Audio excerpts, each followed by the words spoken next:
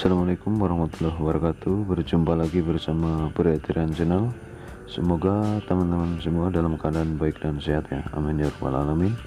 Oke pada kesempatan kali ini saya akan mereview Bibit jambu kristal hasil cangkok. Ini adalah salah satu contoh bibit jambu kristal hasil cangkoknya. Apabila teman-teman mau menanam bibit jambu kristal tapi masih bingung mau pilih hasil cangkok ataupun hasil okulasi ya.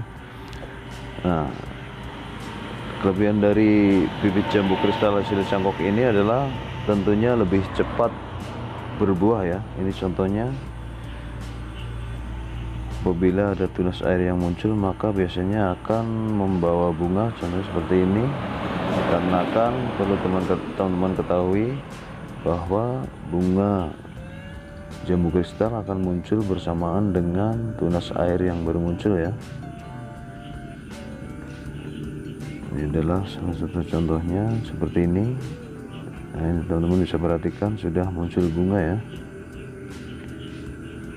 Ini adalah salah satu kelebihan dari bibit jambu kristal hasil cangkok. Nah ini cocok juga untuk dijadikan tabu lampot ya karena lebih cepat berbuah dan bisa juga ditanam secara massal ya lahan yang luas. Nah ini contohnya teman-teman. Kelebihan dari bibit jambu kristal hasil cangkok ini adalah selain lebih cepat berbuah kita juga bisa memilih batang yang besar ya. Karena batang yang besar dan sehat maka akan juga menghasilkan kualitas buah yang bagus ya ini juga ada yang sudah menjadi buah ya contohnya seperti ini. Beda dengan bibit jambu kristal hasil okulasi karena hasil okulasi maka akan memerlukan waktu yang lebih lama ya.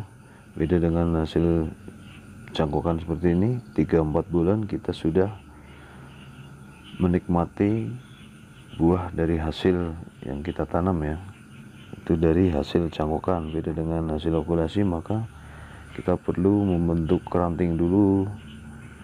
Kita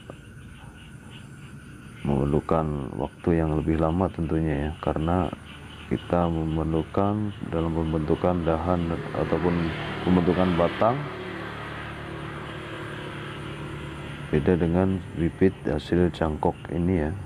Misalnya saya akan contohkan ini adalah misalkan ini hasil okulasi maka biasanya akan satu batang seperti ini ini adalah batang utamanya maka ini hasil apabila tempelannya nah ini maka akan satu helai ya. Belum banyak ranting yang tumbuh maka kita harus memotong bagian ujung tunasnya ya contohnya seperti ini. Nah kenapa harus dipotong? Tujuannya adalah untuk merangsang tumbuh tumbuhnya tunas air di bagian sela-sela daun ya. Tujuannya untuk membentukkan ranting. Nah itulah apabila kita menanam dari hasil okulasi beda dengan cangkok seperti ini ya. Muncul tunas maka akan langsung membawa bunga dan tentunya menjadikan lebih cepat berbuah ya.